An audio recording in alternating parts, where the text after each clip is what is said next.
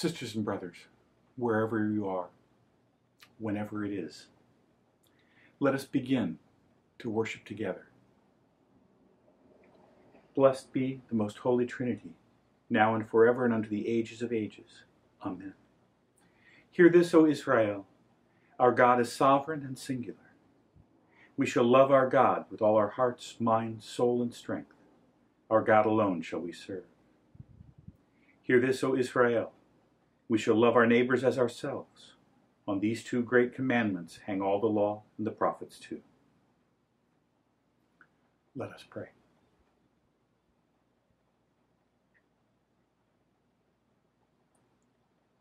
Most high and glorious God, we give you thanks for the wonders of the world.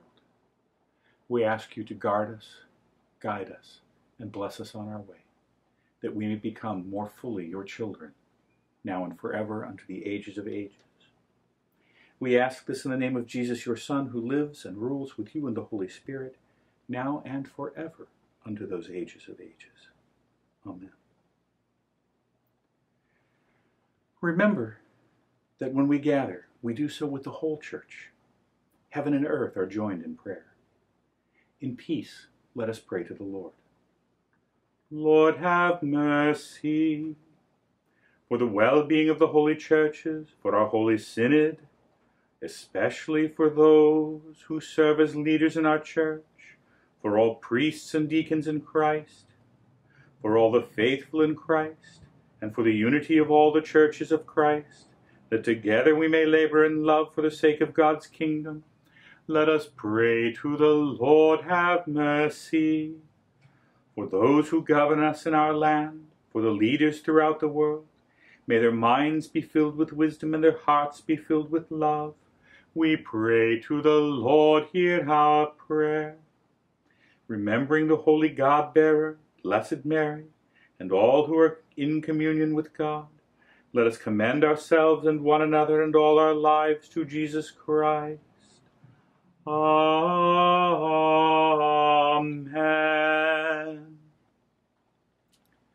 Lift up your voices and give glory to our God, the eternal shepherd. Kadisha Kadisha Kalatana, Kadisha Lamayuta. Ephraim ale. Aios oteos, aios iskiros, agios hatantos eleison imas sanctus deus sanctus fortis sanctus immortalis. Miserere nobis. Give glory to the Holy One, the source of all being, to the eternal Word Jesus Christ, and to the Holy Spirit, who breathes life into all creation, now and forever unto ages of ages. Holy God, Holy and Mighty One, Holy Immortal One, have mercy on us.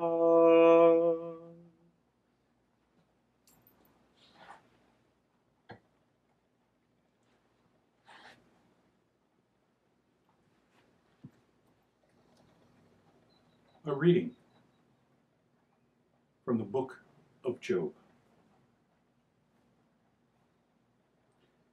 Job answered the Lord, I know that you can do all things, and that no purpose of yours can be thwarted. Who is this that hides counsel without knowledge? Therefore I have uttered what I did not understand, things too wonderful for me, which I did not know. Hear, and I will speak. I will question you, and you will declare to me. I had heard of you by the hearing of the ear, But now my eye sees you.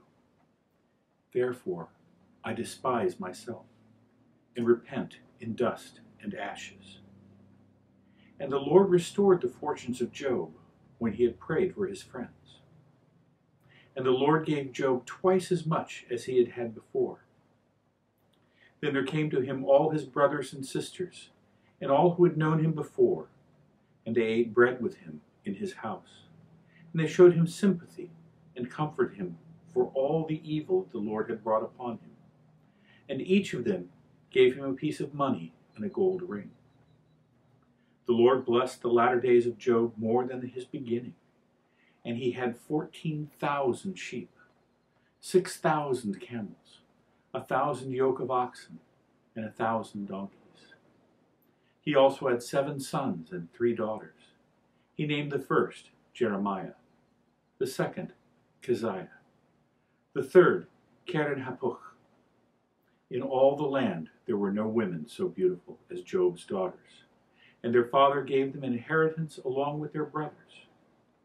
After this, Job lived 140 years and saw his children and his children's children four generations.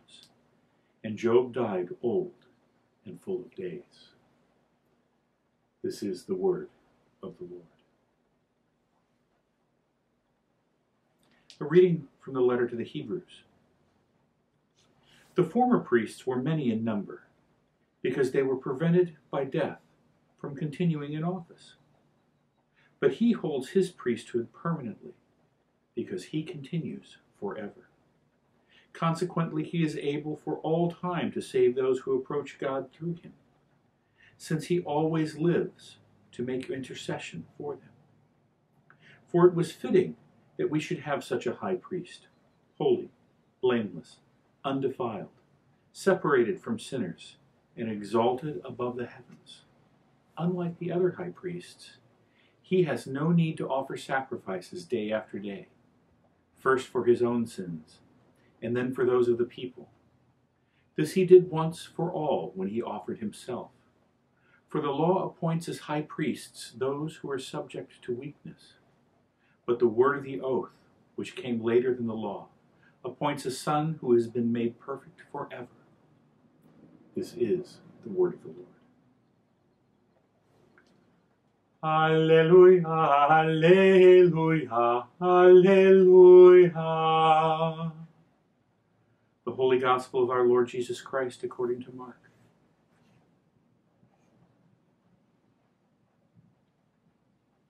Jesus and his disciples came to Jericho. As he and his disciples and a large crowd were leaving Jericho, Bartimaeus, son of Timaeus, a blind beggar, was sitting by the roadside. When he heard that it was Jesus of Nazareth, he began to shout out and say, Jesus, son of David, have mercy on me.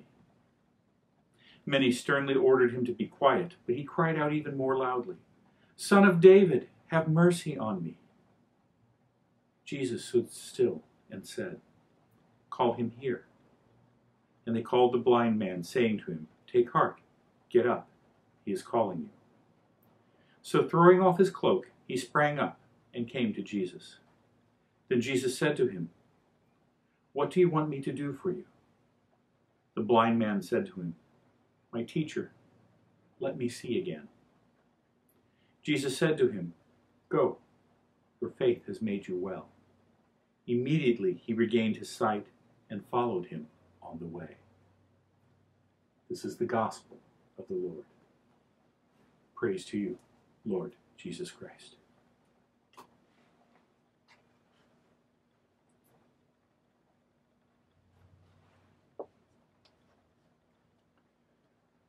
We talk so often about what God expects of us what God wants us to do. And we have the hope that those things will make us better people and those things will bring us to everlasting life. Job was a person who truly believed, and he was tested. And through all of his afflictions, despaired but he always hoped. And in the end, he said, God, who am I to tell you anything? And God blessed him with more sons, more daughters, more camels, more sheep, more oxen, more years.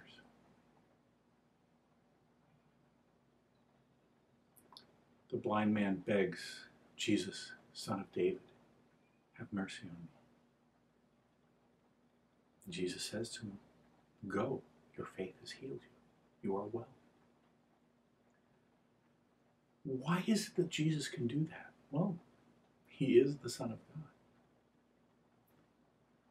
That same Jesus, that same Son of God, is the eternal high priest. Back in the ancient days, for the Jews, there was a high priest at the temple who would go in and make offerings for all of us who were sinners. Now, first he had to make sure that he made offerings for himself so that he was considered pure, and then he would make offerings on behalf of the whole community. We knew back in the ancient days, we're not perfect. We're not all that there is. We need God's forgiveness, so we sent somebody in, into the Holy of Holies. I'm not sure that you can see it here, but this small icon is a representation of the iconostasis, which has the royal doors, which in a larger Orthodox church would stand here and would open for the liturgy. And the priest can go through those royal doors into the Holy of Holies, which today we have as our altar, and offer sacrifices so that God would be pleased with us. And Jesus comes along, Son of God, and offers himself as the sacrifice. Raised from the dead, he is the eternal high priest. And he stands before God and offers prayer for us forever. A sacrifice that never needs to be done again because it was done by the Son of God Himself. How can God forgive us? We do terrible things. Even the best of us fall short. God knows I fall very far short.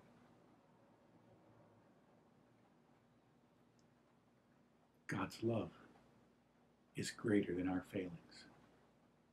Jesus' care is greater than our failings. And when we ask for his forgiveness, he grants it.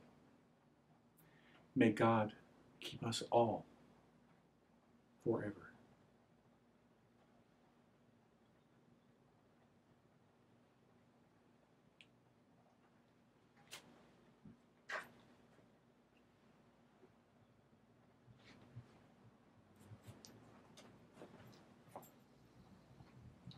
Let us stand and proclaim the beliefs that we share with all the church, including those who came before us and those who will come after. We believe in God, the Father Almighty, creator of heaven and earth. We believe in Jesus Christ, God's only Son, our Lord, who was conceived by the Holy Spirit and of the Virgin Mary, suffered under Pontius Pilate, was crucified, died, and was buried, descended to the dead, on the third day rose again, ascended into heaven, is seated at the right hand of the Father, and will come to judge the living and the dead. We believe in the Holy Spirit, the Holy Catholic Church, the communion of saints, the forgiveness of sins, the resurrection of the body, and the life everlasting. Amen.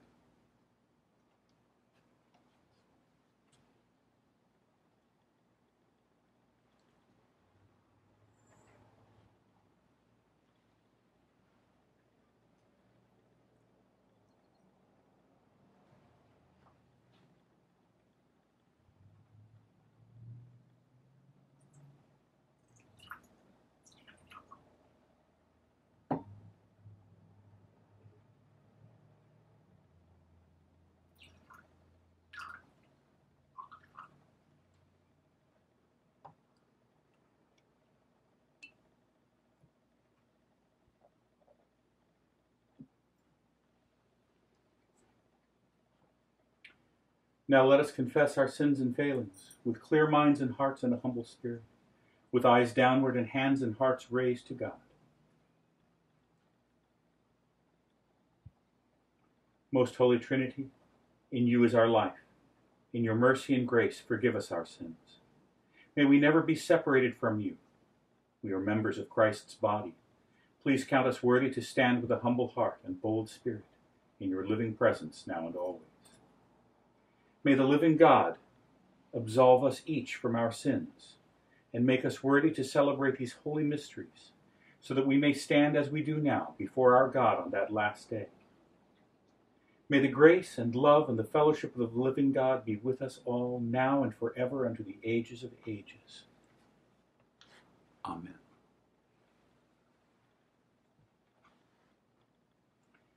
Confident in the forgiveness of our loving God, let us make known our prayers and petitions.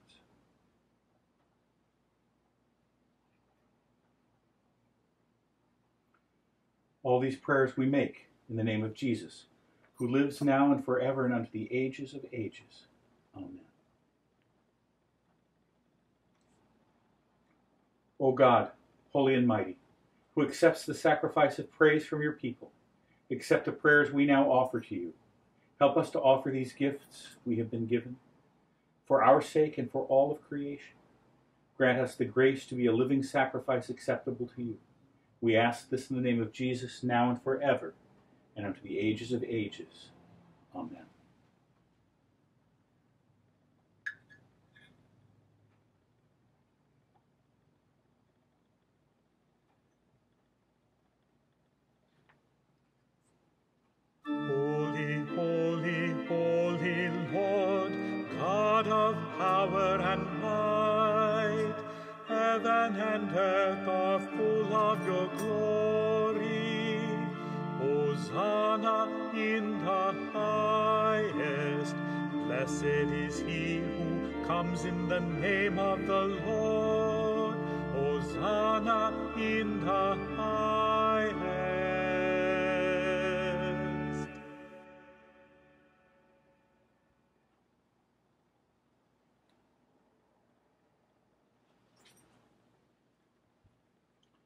The grace and peace of God, the source of all being, the love of the Lord Jesus, and the fellowship of the Holy Spirit be with all of you and also with you.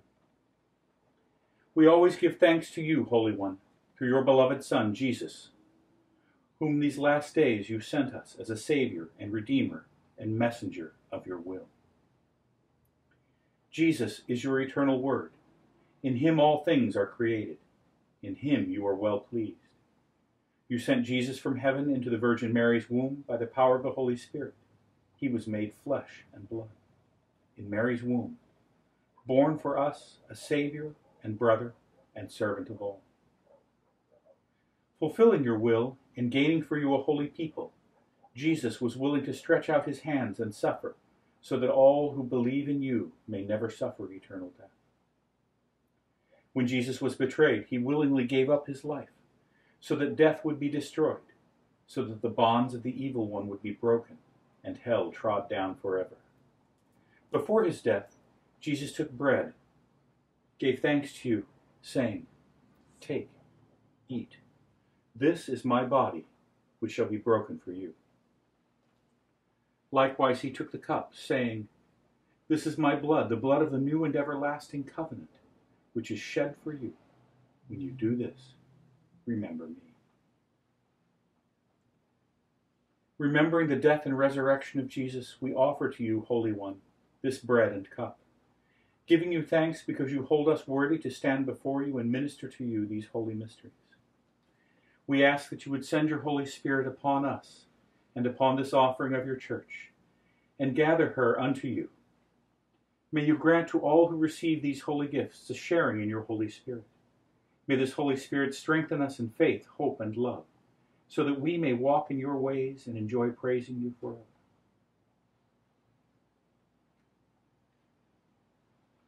For it is through him, with him, and in him, in the unity of the Holy Spirit, that all honor and glory Praise and thanksgiving are yours, Holy One, now and forever, unto ages of ages. Amen.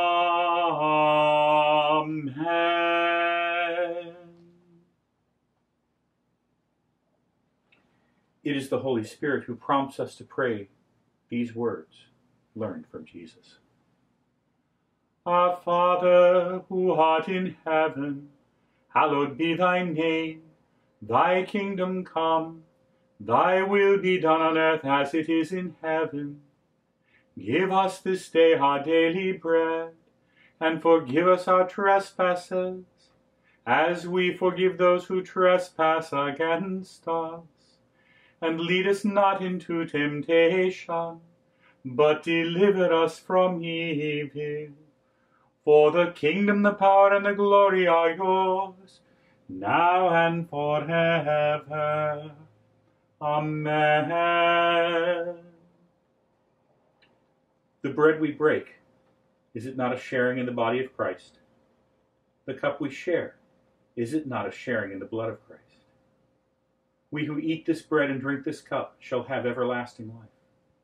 God shall raise us up on the last day.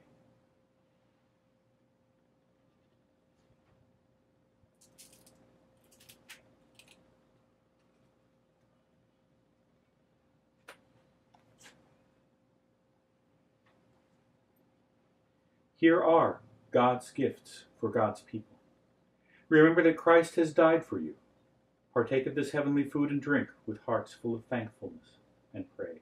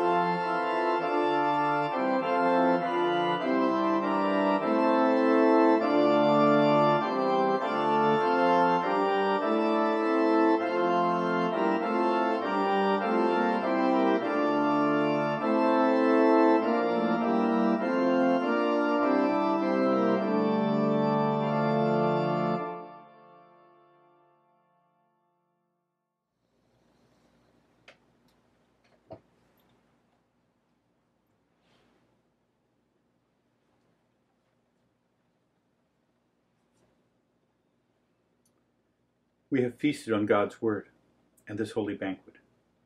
Made bold, let us make known our prayers and petitions.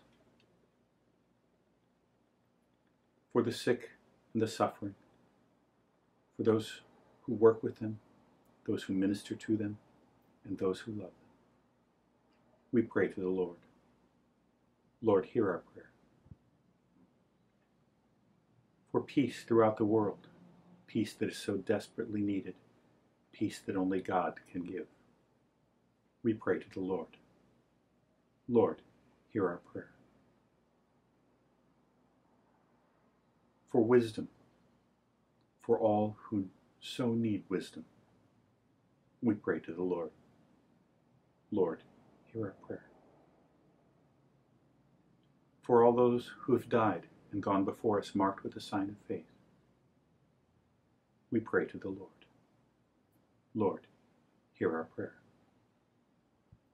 For our families, our friends, those we love, and those who love us, we pray to the Lord. Lord, hear our prayer. For widows, widowers, orphans, strangers, prisoners, captives, Lord, hear our prayer. Lord, hear our prayer.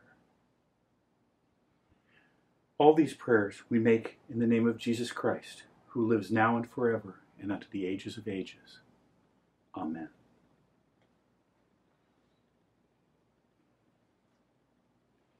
May this worship bear fruit in our lives.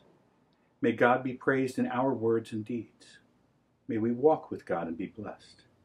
In the name of God, source of all being, eternal Word, and Holy Spirit, now and forever, and unto the ages of ages. Amen.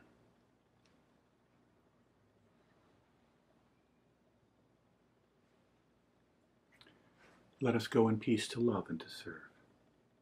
Thanks be to God.